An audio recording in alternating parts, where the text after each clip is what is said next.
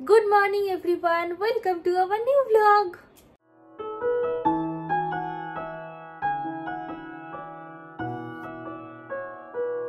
আজ হচ্ছে অক্ষয় তৃতীয়া আর আজকের দিনটা কিন্তু সবার কাছে মানে বিশেষ করে বাঙালিদের কাছে অনেক বেশি শুভ মানা হয়। তো আজকের দিনে আমি ঠাকুরকে ইচ্ছা হয়েছে যে একটুখানি ভোগ করে দেব। মানে ভোগ বলতে কিছুই না, একটু পায়েস করে দেব। তো পায়েসটা এখন বসাবো। আর আমার লাস্ট যে ইন্ডিয়া থেকে কি কি এনেছি ওই ব্লগটাই তোমরা দেখতে পেয়েছ, যে আমি ম্যাক্সিমামই তোমাদেরকে কি দেখিয়েছি যে কি কি জামা কাপড় আর শাড়ি এনেছি। কিন্তু আমার মা একটা খুব সুন্দর জিনিস আমাকে দিয়েছে, সেটা হচ্ছে পিতলে লক্ষ্মীনারায়ণ। তো সেইটা আজকে ভাবছি আমি আমার ঠাকুরের সিংহাসনে আর কি বসাবো। তো ওই জন্য ইচ্ছা হয়েছে ঠাকুরকে একটু ভোগ দেব। তো চলো সেটা তোমাদেরকে আমি দেখাবো যে খুব সুন্দর, এরকম ছোট্টর মধ্যে মানে আমি যেরকম চেয়েছিলাম ঠিক ওরকমই। কিন্তু একটা ব্যাপার হচ্ছে যে ঘট বসালে তো আম্রপল্লব, ডাব ওইসব লাগে। এবার মানে সেই ঠিক কি বলব? মানে ঠিক মন মতো জিনিসটা পাইনি, আর হাতে সময়টা কমও ছিল, ওই জন্য আর যে বেশি কিছু খুঁজবো সেটা খুঁজতেও পাইনি। তো যদি পরে কখনো সম্ভব হয়, আমি ওটা নিয়ে মানে কিনে আনব ইন্ডিয়া থেকে, এনে এখানে আর কি বসিয়ে দেবো। তারপরে তো আজকে আমি শুধু ঘট বসাবো, আর লক্ষ্মীনারায়ণকে বসাবো মানে সিংহাসনে বসাবো। তো এখন আর কথা না বাড়িয়ে, চলো ব্লগটা স্টার্ট করছি। এখন শুরু করব হচ্ছে পায়েস রান্না। কালকে অলরেডি আমি একটু বোদে বানিয়েছিলাম। তো সেই বোদেও দেবো ঠাকুরকে আর একটু পায়েসও দেবো। কারণ আমি শুনেছি মা লক্ষ্মী পায়েস খুব পছন্দ করে, তো এই জন্য দেবো। আর এখানে গোপাল এখন ঘুমিয়ে আছে। পায়েস করে তারপর গোপালকে উঠে সুন্দর একটা জামা পরাবো।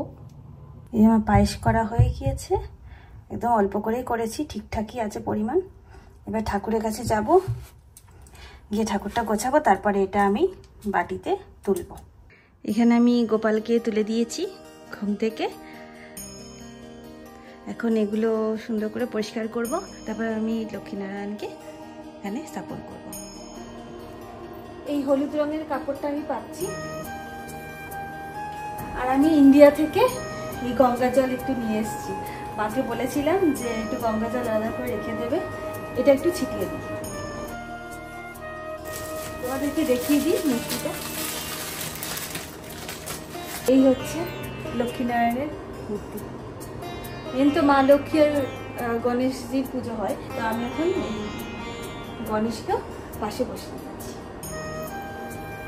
পাশাপাশি বসিয়ে দিয়েছি। এই যে আমার ঘটে স্বস্তিক চিহ্ন আঁকা কমপ্লিট আমি লক্ষ্মীনারায়ণকে বসিয়ে দিয়েছি আর এখানে এই যে পায়েস দিয়েছি ঠাকুরকে।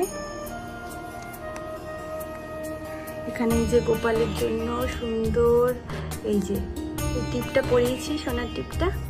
আর গলার চেনটা তো আছেই। প্রদীপ জ্বালিয়ে দিয়েছি। আর এই যে বোদে বানিয়েছিলাম, এই বোদেগুলো কিন্তু কেনা না। আমি নিজে আর কি ঘরে বানিয়েছি।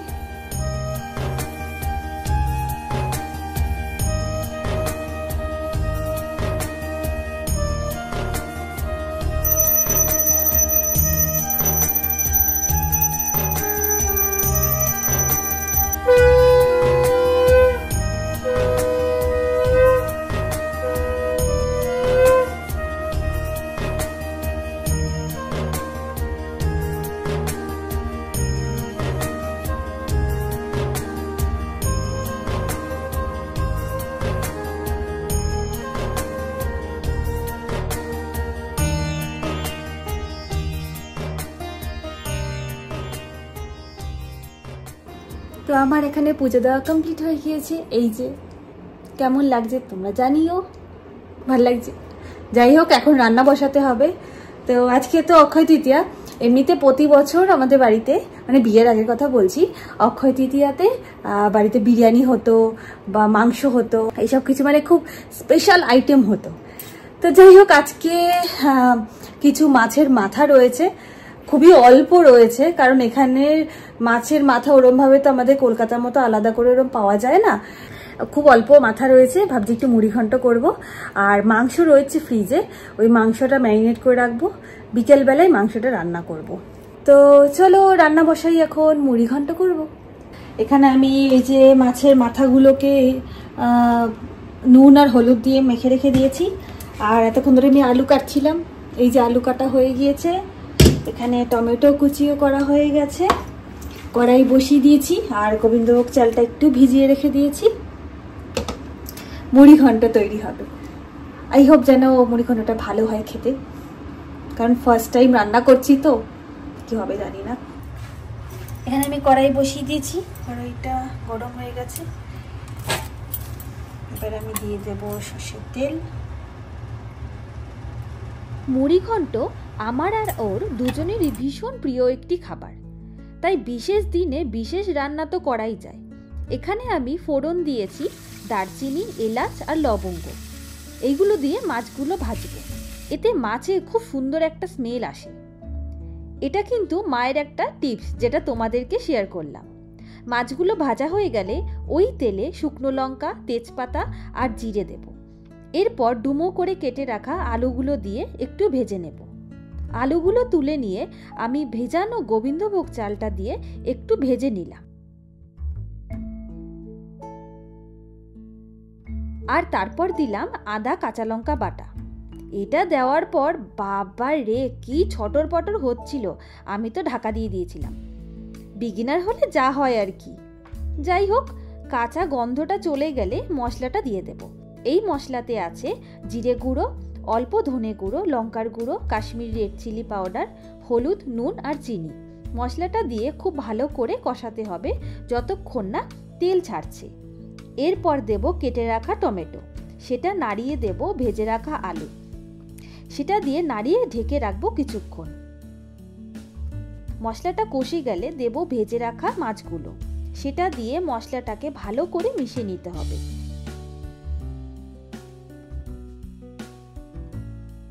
এরপর পরিমাণ মতন জল দিয়ে ঢেকে রাখলাম।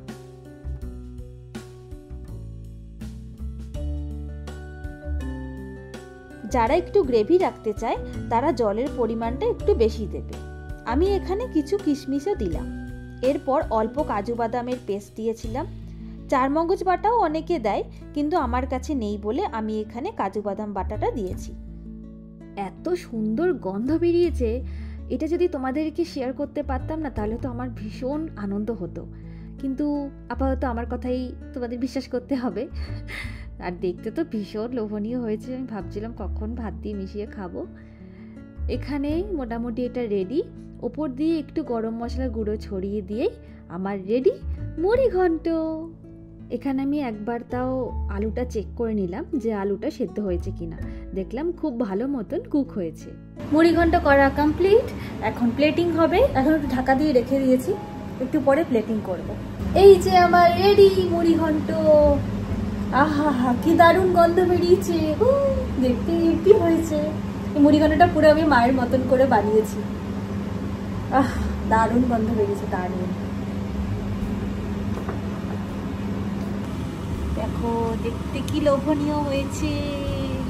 নিজের রান্না নিজেই বলছি, কিছু করার নেই। আমার লাঞ্চ কমপ্লিট হয়ে গিয়েছে। মুড়ি ঘন্ট কেমন হয়েছে সেটা আমি আর নিজের মুখে আজকে বলছি না। রাতে যখন ও খাবে, ওর কাছ থেকেই শুনব যে কীরকম হয়েছে। নিজের রান্না তো আমার তো ভালোই লেগেছে। আর ও কি বলে সেটাই দেখব। যাই হোক, রান্না করতে করতে আমি ভুলেই গিয়েছি যে আজকে বিকেলে মাংসটা রান্না করব। মাংসটা যে বের করে রাখব ডিপ থেকে, ভুলেই গেছে একদম। তো এখন আমি মাংসটা বের করে রাখব, ততক্ষণে এগুলো সব কিছু গুছিয়ে নিই। তো মাংসটা ধুয়ে ম্যারিনেট করে রাখব। আর আমি কীভাবে মাংস ম্যারিনেট করে রাখি সেটাও তোমাদের দেখাবো। এখন আমি রসুন ছুলতে বসেছি। অলরেডি কিছু আছে, দুটো রসুন ছিল, এই দুটো ভাবছি ছুলে নিই। মাংস মাংস করতে হবে তো। আমি অ্যাকচুয়ালি তাই করি, আদা রসুন কিনে আনলে রসুন কিছুটা এরকম ছুলে রাখি, আর আদা কিছুটা পেস্ট করে রেখে দিই একেবারে। কারণ ওই রান্নার সময় আদা পেস্ট করতে খুব সমস্যা হয়। অল্প করে আদা তো আর পেস্ট করা যায় না। আর এখানে শিলনোড়াও নেই যে বাটবো। শিলনোড়ার কথা বললাম কারণ আমার মা এখনও শিলনোড়ায় বেটে সমস্ত রান্না করে। মানে গুঁড়ো মশলা সেরকম কিছুই রান্না করে না। সমস্ত কিছু আর কি বেটে রান্না করে। যাই হোক, এখন আমি রসুনগুলো ছুলবো, আর একটা নেটফ্লিক্সে সিরিজ দেখব। এখানে আমার এই যে আদা পেস্ট করা হয়ে গেছে আর এই রসুনও পেস্ট করা হয়ে গেছে। এখন হচ্ছে চিকেনটা ধোবো, ধুয়ে তারপরে ম্যারিনেট করব। মাংস ধোয়া আমার ডান এখন এখানে দেব হচ্ছে হলুদ, নুন একটু রসুন বাটা, আদা বাটা, একটু দই আর হচ্ছে সর্ষের তেল। এই সব কিছু দিয়ে আমি এখন ম্যারিনেট করে এটাকে রেখে দেবো। এই এক দু ঘণ্টা কি তিন ঘণ্টা যতক্ষণ আর কি ম্যারিনেট করে আর কি রাখা যায়, ততটাই ভালো হবে। তাহলে মাংসটা একটু সফট হবে। তো এখন আমি দেব নুন, হলুদ। নুন দিলাম। এইভাবে মাংসটা করলে না, মাংসটা বেশ তাড়াতাড়িও হয়ে যায়।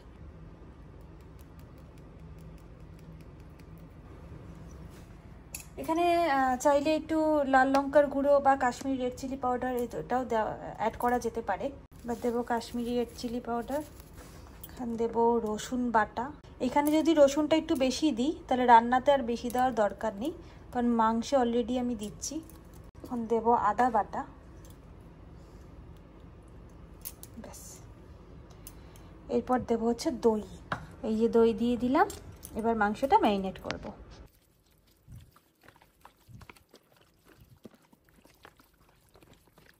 যে জলটা, ওটা দইয়েরই জল, অসুবিধা নেই। এখন একটু দিয়ে দেব অল্প সামান্য পরিমাণে তেল। সর্ষের তেলই দেব। সর্ষের তেল দিলাম। তেলটা দিয়ে মেখে নিই। মাংস ম্যারিনেশন কমপ্লিট হয়ে গিয়েছে। এখন এটাকে আমি সুন্দর করে র্যাপ করে রেখে দেব। এই ফুড কভারগুলো দিয়ে আমি সুন্দর করে এটাকে কভার করে দিলাম। দিয়ে এবার এটাকে এখানে রেখে দেব। তো অফিস থেকে চলে এসেছে। এসে আমি বললাম যে মাংস টাংস ম্যারিনেট করে রেখে দিয়েছি বসাবো। তো বলল যে আজকে মাংসটা করতে না কালকে করতে। ভালোই হয়েছে। আর দেখি পিজা অর্ডার দিয়েছি। পিজা খাবার করতে morphing ability. I can camouflage my skin by bending my money. Is that it, or is there is there something else you're not telling me? এখন আমরা ডিনার করতে বসেছি। আর ডিনারে করলাম হচ্ছে মুগ ডাল। আর একটু পর কয়েকটা পটল ছিল ইন্ডিয়া থেকে নিয়ে এসেছিলাম। তো ওই পটলগুলো ভাজলাম ওই চারটে মতন পটল ভেজেছি। আর মুগ ডাল করেছি ঘি জিরে আদা এসব সম্বার দিয়ে। ভালো হয়েছে মানে ফোড়ন দিয়ে। আর ওকে তো মুড়ি ঘন্টটা দিলাম। কেমন হয়েছে মুড়ি ঘন্ট সত্যি? আমি ফার্স্ট টাইম করলাম মুড়ি ঘন্ট। তাই? তো ডিনার কমপ্লিট হয়ে গিয়েছে। ব্লগটা এখানেই এন্ড করছি। আসলে আমি খুব একটা ব্লগ দিই না, কারণ আমরা এখানে থাকি দুজনে। তো ও সকাল সকাল অফিসে বেরিয়ে যায়, এবার ঘরে সারাদিন আমি থাকি। আমি ওই ঘুম থেকে উঠে ব্রেকফাস্ট তারপরে লাঞ্চের জন্য রান্না বান্না হয়, তারপর পুজো দিই, তারপর কিছু নিজের কাজ করি, তারপর ও আসে টিফিন খাওয়া হয় দিন একসাথে বসে কিছু সিনেমা দেখি, তারপর আবার ডিনার করে ঘুমিয়ে পড়ি।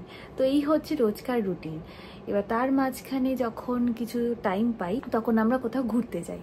তো সেই ঘোরার ব্লগগুলোই আমি তোমাদের সাথে শেয়ার করি। তো যেটুকু বাইরে যাই যদি কিছু অ্যাক্টিভিটি করে থাকি, সেগুলো আমি ব্লগে দেওয়ার চেষ্টা করি। তো অনেকেই তোমরা প্রশ্ন করো যে এখানে লাইফস্টাইলটা কীরকম? আমি কীরমভাবে প্রত্যেকটা দিন কাটাচ্ছি? সত্যি বলতে ওই একই রোজ দিন মানে কাটে আমার। মাঝে মাঝে ওর অফিসের জন্য আমরা এদিক ওদিক যাই সিটিতে অনেক সিটিতেই যাই।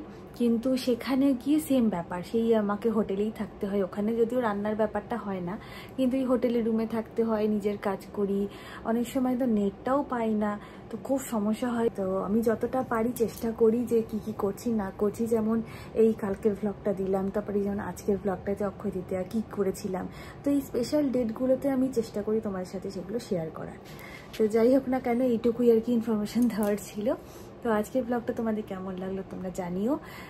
আজকের ব্লগটা তোমাদের ভালো লাগলে লাইক করে দেবে। যারা এখনও সাবস্ক্রাইব করনি প্লিজ সাবস্ক্রাইব করে দিও। দেখা হচ্ছে নেক্সট ব্লগে তোমরা ভালো থেকো, আনন্দে থেকো। আর খুব খুব খুব মজা করো সো টাটা